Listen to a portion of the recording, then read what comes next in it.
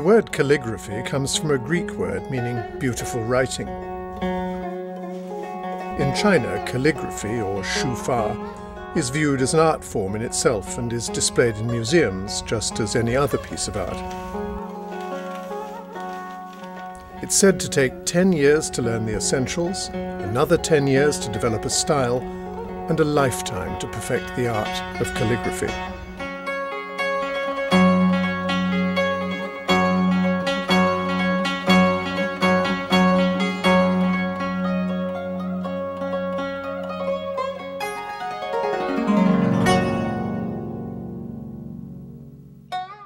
For centuries, the Chinese literati were expected to master the art of calligraphy, so I thought I should give it a try too.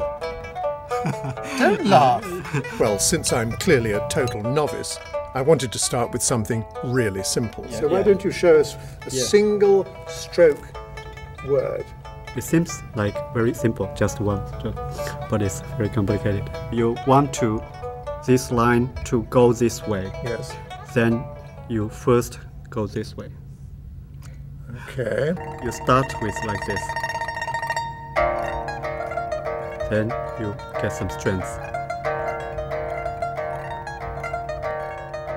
Sounds like you're going to right, but eventually you're turning to left. It's not really one stroke at all, is it? It's not at all. One, two, three, four, five. All right, I'm going to have a go. First go up, I should have gone up. ah, yeah. go down, Down I go. go left, Left. go down, go right, go left. it's not bad. It's dreadful. It looks like a dog's bone. Regarded as the most abstract and sublime form of art in Chinese culture, calligraphy is thought to be the most revealing of one's personality. I dread to think what I've just revealed about my own. It's very interesting. Very interesting. I'm glad you find it interesting. Humiliating. This is Simon Winchester, learning day by day that nothing in Chinese culture is as simple as at first it may seem.